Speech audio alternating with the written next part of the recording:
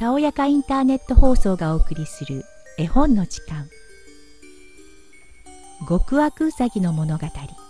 ベアトリクス・ポッター作。大久保優役。こちらは極悪うさぎ。ほら下品なおひげに鋭い爪。それにあの逆立った尻尾。こちらはおっとりうさぎ。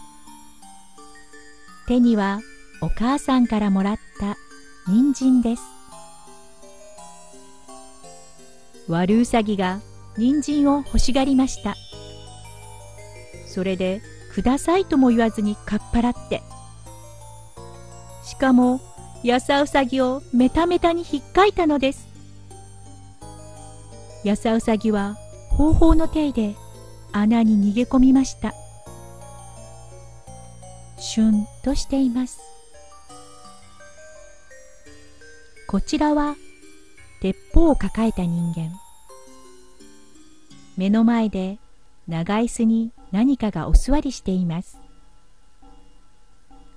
もしや変わった鳥さんかな？人間が木の裏からそろーり忍び寄ります。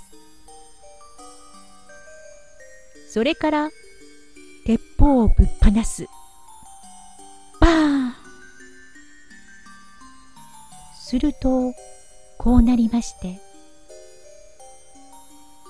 ところが長椅子の上には気づけばこれだけ。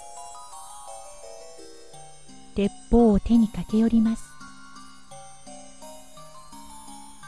穴から様子をうかがっていたやさうさぎ